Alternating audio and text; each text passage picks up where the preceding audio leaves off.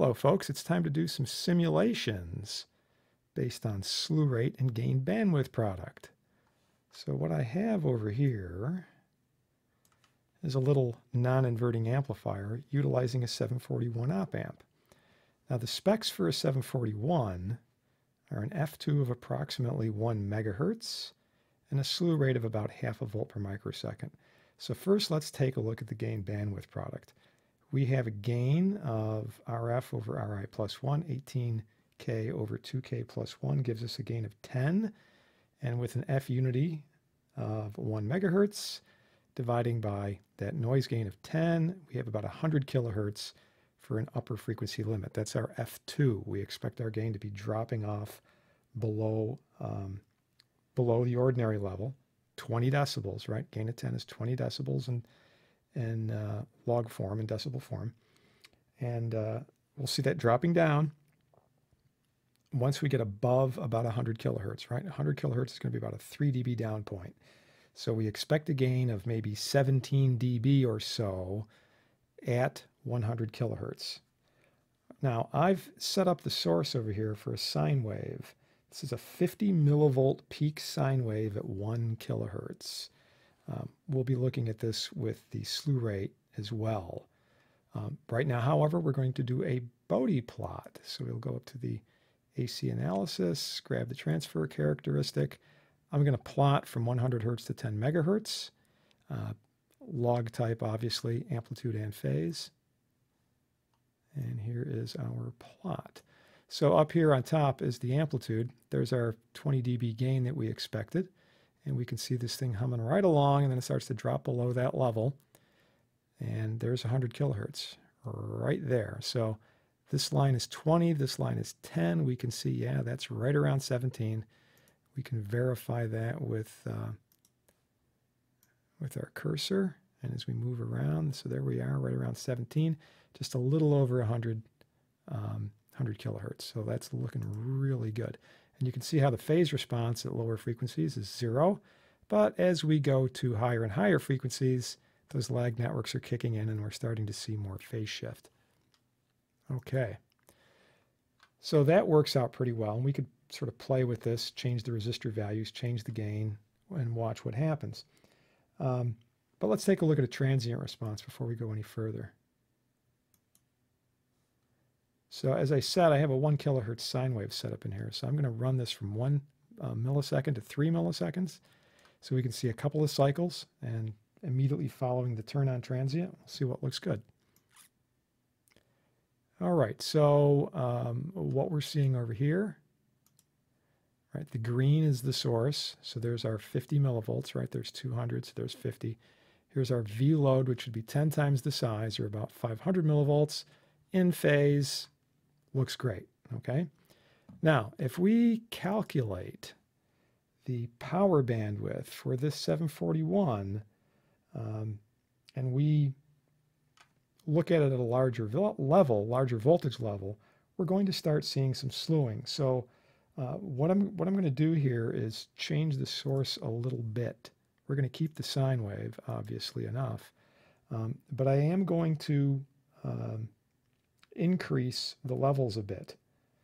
So let's change this to a volt and um, punch this guy up to about 10 kilohertz.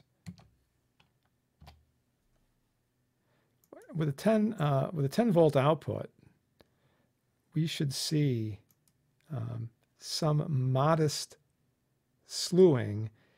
Uh, the F max will calculate out to be around 8 kilohertz. So if you're using uh, 0.5 volts per microsecond and a 10 volt peak, the F max for the 741 circuit is going to be about 8 kilohertz. So I just chose a 10 kilohertz source. We should see just a little bit of um, slewing. Okay, it's going to be kind of subtle. Uh, I'm going to have to change this a little bit. I'm using 10 times the frequency, so let's take a look at maybe, um, say, like 1.2 milliseconds. Okay, so I got a couple cycles here. Here's my input again. Um, here's my output. And if you look at this, you can see that this is a little weird. It's a little asymmetrical, you know, especially when you look up around the, the tips of the waveform. This has gotten overly straightened. These sides have gotten overly straightened because of the, uh, the slew distortion.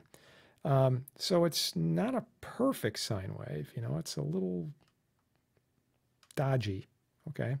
But if that's an unconvincing, right? Because here we are at uh, 10 kilohertz, and we're saying it's going to occur right around, you know, 8 kilohertz.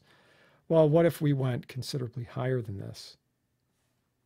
You know, what if we were looking at uh, a notably higher frequency? So, you know, let's throw in maybe 50 kilohertz, right? Five times higher.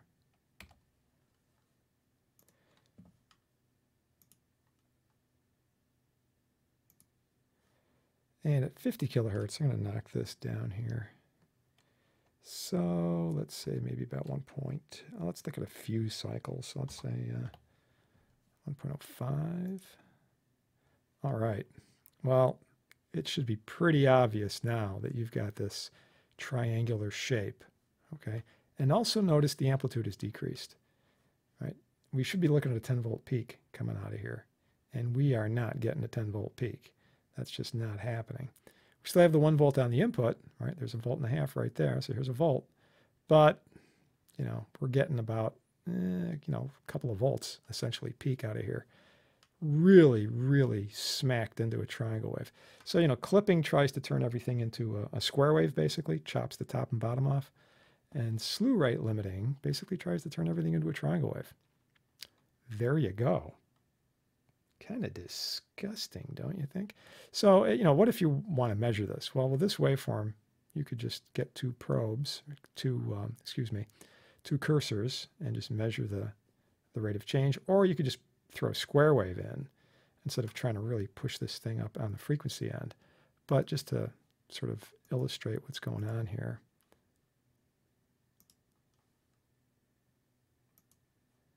So all I would do is just sort of move A and B around to convenient points, wherever that might be. Okay. Um, and then just get the, the delta V, delta T uh, on the thing. All right, so here's a, you got a time differential here, you got a voltage differential here. Um, divide them out, see what you get. Right, and in this case, you'll get around half a volt per microsecond. All right, so here's uh, that's 10 microseconds right there, right? There's 1 to 1.01. So, you know, if I push this out here to maybe, you know, a portion of that, we can see exactly what's going on, okay? Um, you start looking at these numbers, 5 microseconds, we're doing about, you know, 2.6 volts. So, yeah, that's, you know, coming in right around at that uh, uh, half a volt per microsecond that we were expecting. All right, looking good.